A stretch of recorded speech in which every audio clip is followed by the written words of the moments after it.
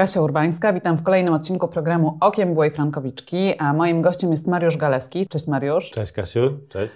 Mariusz jest wyjątkowym gościem, dlatego że rzadko się zdarza, żeby dwa razy w tej samej sprawie wygrać prawomocnie z bankiem, prawda? Udało Ci się. Tak, dokładnie. Także chyba znowu jestem jednym z pierwszych, który mm. najpierw jeden z pierwszych, który wygrał prawomocnie za pierwszym razem, a teraz drugi raz wygrałem z bankiem w tej samej sprawie. No właśnie, to jest ta sama sprawa. Powiedz, dlaczego drugi raz pozwałeś bank? Co, co się takiego wydarzyło przy pierwszej sprawie, że zdecydowałeś po raz kolejny wejść na drogę sądową? Tak sobie żartowaliśmy, że dla pewności. Ale tak naprawdę e, jako jedna z pierwszych osób wygrałem z Fortisem mhm. prawomocnie.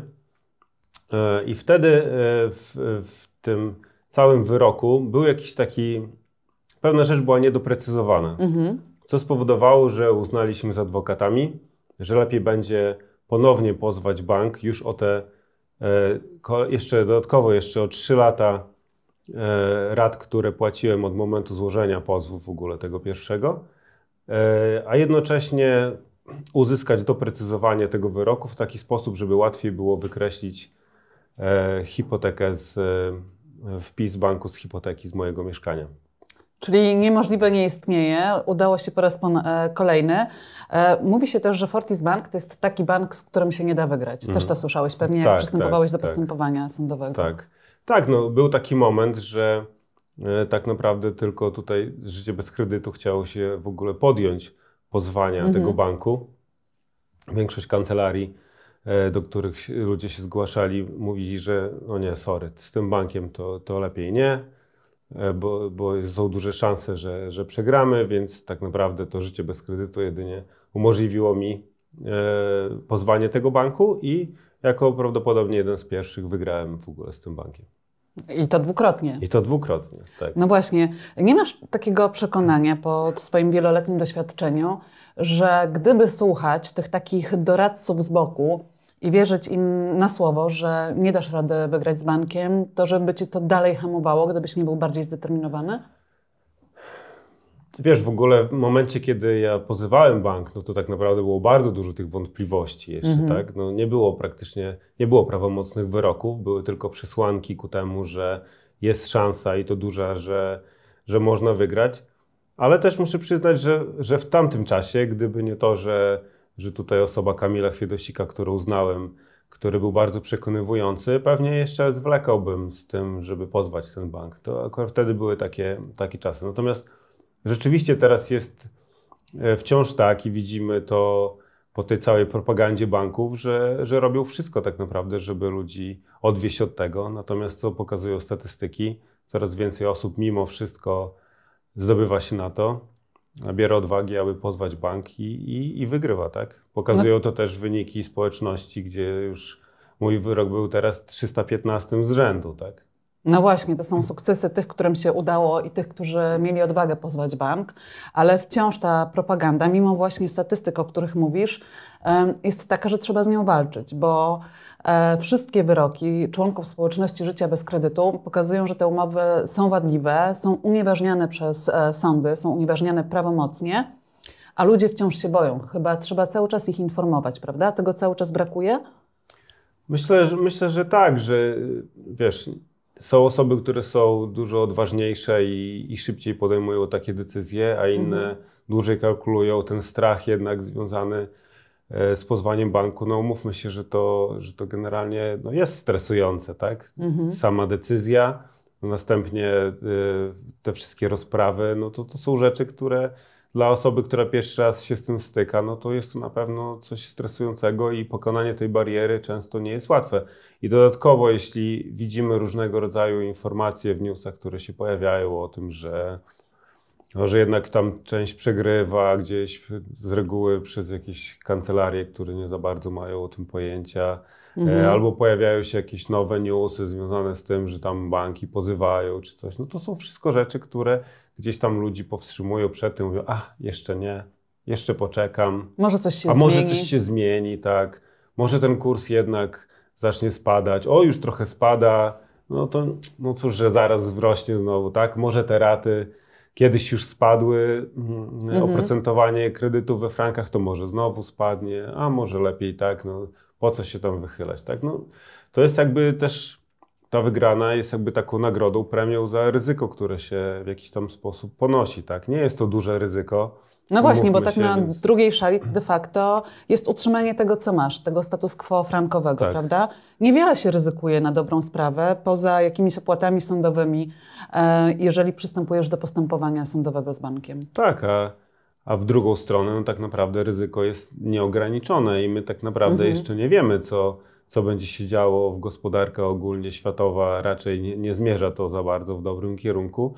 I, I, może się okazać, że ktoś tam sobie myśli, okej, okay, dobra, płacę tam 2000, 3000 raty, no to tam może jeszcze trochę wzrośnie. A co jak wzrośnie dwa razy? Czy to jest niemożliwe? No, doradcy z banku pokazywali kiedyś na przestrzeni jakiegoś krótkiego czasu, że ten kurs jest po prostu stabilny i, i na pewno tutaj się nic nie zmieni, tak? Nagle tak. potem się okazało, że, że, że kurs franka wzrósł dwukrotnie, tak? No dla niektórych to był rok, a dla niektórych to był miesiąc, kiedy nagle tak, wzrosły tak, tak. raty Więc dwukrotnie. Jakby biorąc pod uwagę to, że mieszkanie, jeśli na przykład ktoś brał to na cele mieszkaniowe swoje, a z reguły tak było, mhm. jest to jakby taka podstawa bezpieczeństwa człowieka, no to w momencie, kiedy nagle jest, jest zachwiana w taki sposób, że, że nagle ta, wiesz, ta rata stanowi wiem, 50% albo więcej budżetu domowego, no to zaczynają się problemy, o których tutaj cały czas jest mówione e, na, na kanałach i społeczności Życie bez kredytu, ale myślę, że trzeba cały czas to powtarzać i uświadamiać ludziom, tak? No tak, a nic nie działa e, na wyobraźnię bardziej jak sukcesy, jak ci, mhm. którzy wygrali, opowiadają o tym. Dlatego a... zgodziłem się po raz kolejny wziąć udział w programie, ponieważ No uważam, bo twoja historia jest, też jest wyjątkowa. Trzeba inspirować, tak, ludzi zachęcać. No właśnie, takiej inspiracji jak Mariusza Inspiracja Wam życzymy. Powiedz mi jeszcze tylko, co Tobie dawało siłę i taką pewność siebie przez e, te kilka lat e, dwóch procesów sądowych? Wiesz co, no, trzeba jakby zacząć trochę e, od początku, że co czułem tak naprawdę mhm. w momencie, kiedy zobaczyłem, że, że, że ten cały kredyt, to wszystko nie idzie w tym kierunku, w którym ja się spodziewałem, tak? Że nagle rosną raty, saldo zadłużenia też rośnie, mijają lata, ja spłacam, nic się nie dzieje. I pierwsze, co tak naprawdę czułem, to była taka najpierw trochę bezsilność, potem taka frustracja, która się przerodziła w złość.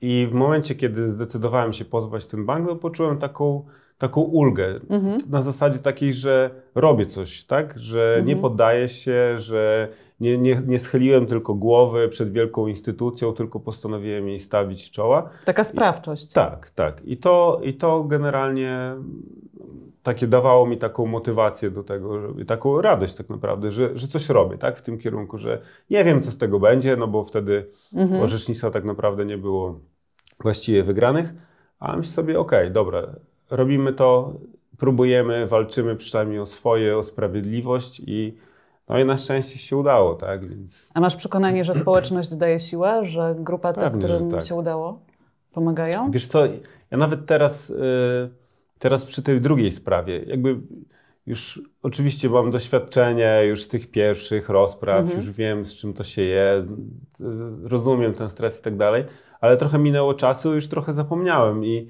i wiesz, i, i poszedłem znowu na, na pierwszą rozprawę i, zanim, emocje wróciły. Tak, tak, emocje wróciły i, i też potrzebowałem właśnie porozmawiać y, z paroma osobami, tutaj też z Kamilem, żeby gdzieś tam trochę poczuć tego wsparcia, takiego uspokojenia, no bo gdzieś tam zawsze są te, jest ta jakaś niepewność, tak, no bo Tutaj nie ma praca, prawa precedensu, więc zawsze każda nowa, każda nowa rozprawa, no to może się różnie skończyć, tak? Nie wiadomo, trafisz na jakiego sędziego i tak dalej, więc w pierwszej instancji się udało, wszystko poszło zgodnie z planem. Mhm. Potem w drugiej instancji okazało się, że, że sędzia chce mnie znowu przesłuchać, co raczej w apelacji raczej się rzadko zdarza. Więc znowu myślę, okej, okay, no to ale co, co się dzieje, dlaczego? Więc jakiś tam niepokój się pojawia i to wsparcie jest potrzebne wtedy, żeby człowiek tak się uspokoił i, i wiesz, i po prostu szedł dalej do przodu, nie? To czujesz, że już jest spokój, że już zakończyłeś finalnie tę swoją niefortunną przygodę frankową? To znaczy, wiesz, no jakby na tym etapie, że już jakby od, ze swojej strony zrobiłem wszystko, e, już będę mógł e, wykreślić e, bank z hipoteki mojego mieszkania, także z tej strony zrobiłem wszystko, tak? No z drugiej strony bank pozwał mnie o, o kapitał, tak? W związku mhm. z tym czekam na to, co się wydarzy, natomiast jestem, jestem raczej spokojny, biorąc pod uwagę te wszystkie informacje, które tutaj pojawiają się w społeczności, te, te wasze wizyty w TSUE i tak dalej, to jak to się wszystko rozwija, więc, więc jestem spokojny i wiem, że, że raczej wszystko się skończy po mojej myśli, a jak nie, no to ja też pozwę bank o korzystanie z kapitału i generalnie będziemy się, będziemy walczyć do końca.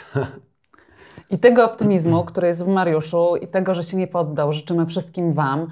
E, jeżeli jesteście na drodze postępowania sądowego, jeżeli pozwaliście bank, a niepokoicie się, macie pytania, wątpliwości, zastanawiacie się, jak będzie e, wyglądała Wasza sprawa, albo po prostu potrzebujecie takiego wsparcia i porozmawiania z kimś, kto ma już doświadczenie. Pamiętajcie, że jest zespół prawomocnych pomocnych, jest Kinga Walicka, jest Kamil Sienkiewicz i jestem ja i zawsze możecie do nas napisać, zawsze możecie się umówić z nami na spotkanie, a my z przyjemnością wesprzemy Was w Waszej walce o sprawiedliwość. Dziękuję, do zobaczenia za tydzień. Dzięki Mariusz. Dzięki.